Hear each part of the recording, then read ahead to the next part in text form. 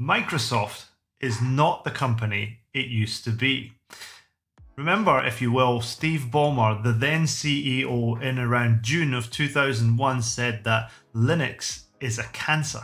Microsoft tried for years to thwart the open source model and attack Linux head on. However, Microsoft have mellowed over the years and eventually they even admitted that they were wrong. These days, they embrace Linux. Microsoft's current CEO Satya Nadella even campaigned that quote, Microsoft loves Linux in 2015.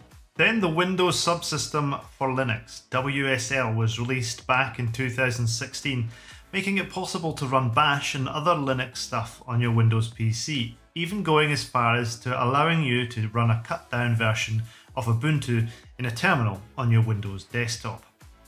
Three years ago, Microsoft made the somewhat surprise acquisition of GitHub, the popular code hosting and development site, and they went on to port its now hugely popular development environment Visual Studio Code to Linux. In 2019, the Redmond rascal upped the WSL ante with WSL2 and included the Linux kernel right into Windows itself. And then, a few days ago, Microsoft really went all in. They released their own version of Linux. Yep, you heard me, that's right, Microsoft made their own freaking Linux distro. The oddly titled CBL Mariner was released with little fanfare, but it could have ramifications for Microsoft, you, and or the open source community. But will these ramifications be positive or negative? Let's discuss here on Al's Geek Lab.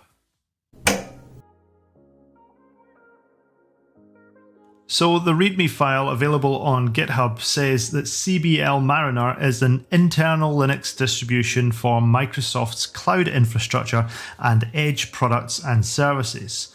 It continues CBL Mariner is being shared publicly as part of Microsoft's commitment to open source and to contribute back to the Linux community. So firstly, what's with the name? Well, CBL stands for Common Base Linux and Mariner is the code name they're going with for this 1.0 release, kind of like how Cobalt is the code name for the upcoming Windows 11 release. Now, whilst CBL is available for download immediately from GitHub, you'll be hard pressed to find something that constitutes a Linux distro like download. Most of us are well versed with going to websites like ubuntu.com and downloading an ISO image, but no such image is available on the Mariner GitHub site. Instead, at the moment, you need to download a fair few gigs worth of stuff and then run a lengthy build process. In the end, if you follow the steps right, then you'll get an ISO image that you can boot the installer from. Under the hood, CBL Mariner seems to be a hodgepodge of the Red Hat based Fedora Linux distribution, as it uses Red Hat's popular RPM packages. However, it notably also borrows from the Linux distro by VMware called Photon OS. Photon OS introduced the tDNF installer, which is the tiny version of Red Hat's DNF package manager, the replacement for Yum. tDNF is written in C and doesn't have Python dependencies, which makes it a little bit more lightweight than DNF is in Fedora. Software packages for Mariner can be generated from spec files or from source as well. Microsoft CBL is designed from a minimalist, cloud ready perspective and can be deployed as a container or as a VM. This makes it sit as a contender for the likes of Red Hat's Fedora Core OS, Rancher OS, and Ubuntu Core. It consumes very limited disk and memory resources. Microsoft went on to say that the lightweight characteristics of CBL Mariner also provides faster boot times and a minimal attack surface.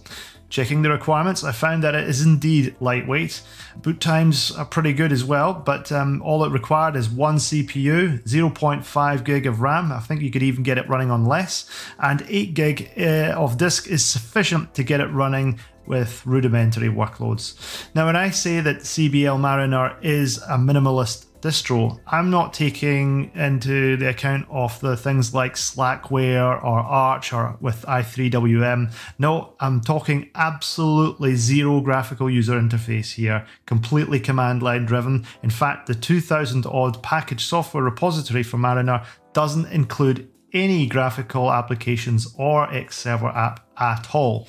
That's totally deliberate, by the way, just like the other container and cloud server Linux distros I mentioned just a moment ago. Now, from what I can glean, Microsoft is pretty serious about the security of this minimalist distro. Out of the box, it features tamper resistant logs, a hardened kernel, address space layout randomization, ASLR for short, compiler based hardening, and signed updates. So, anyway, we've heard all about it now.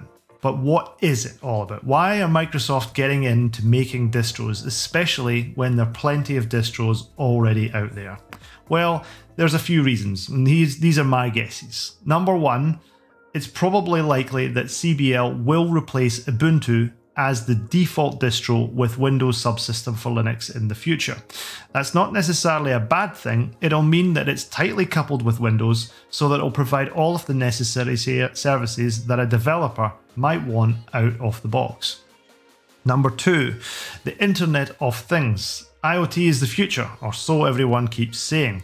Microsoft are riding the wave of the internet integration in a big way, and all you need to do is log into Azure at the moment, and you'll see lots of tutorials about how uh, to use a Azure to power your IoT product or your project.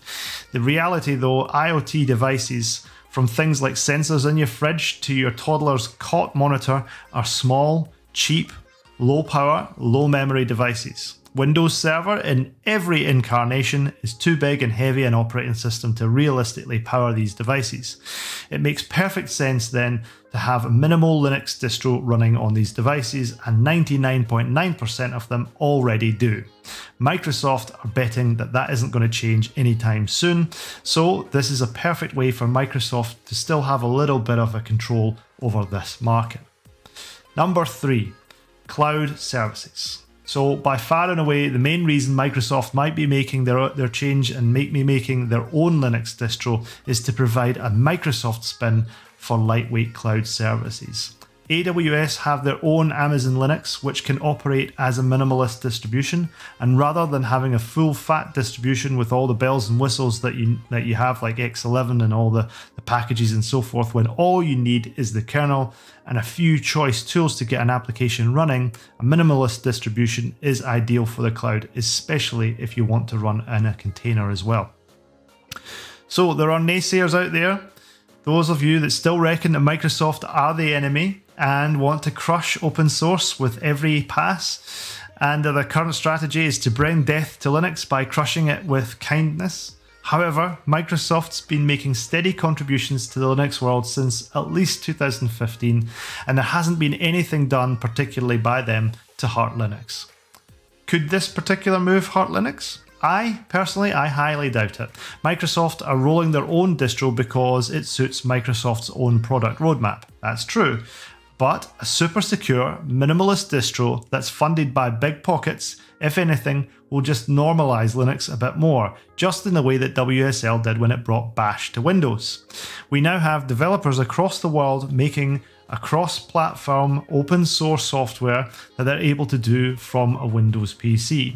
Microsoft opened up Linux to a whole new generation of developers and, by extension, consumers by taking these actions. So, surely that can't really be a bad thing, can it? Recently, Brian Lunduke, I was listening to his Linux Sucks 2021 presentation, um, where the, the main topic, I guess, was the end of Linux is nigh. And whilst he does make a point that Google's new operating system, Fuchsia, which is being released for IoT devices such as the Nest this year, will, over time, draw an audience away from Linux. Just because a few companies are doing their own thing, Linux isn't going any away anywhere fast, especially if companies like Microsoft are doubling down on it and going to such efforts as to port software to it and now roll their own distributions of it. So, what are your thoughts? Are Microsoft out there to rid the cancer that is Linux from within Redmond? Or are they spreading their love of Linux across the world in many tiny little Linux instances? Let me know in the comments below if you have any thoughts on that. If you liked this video, please consider subscribing, give me the thumbs up, and pressing that notification bell. Until next time, thanks very much for watching. I'll see you later.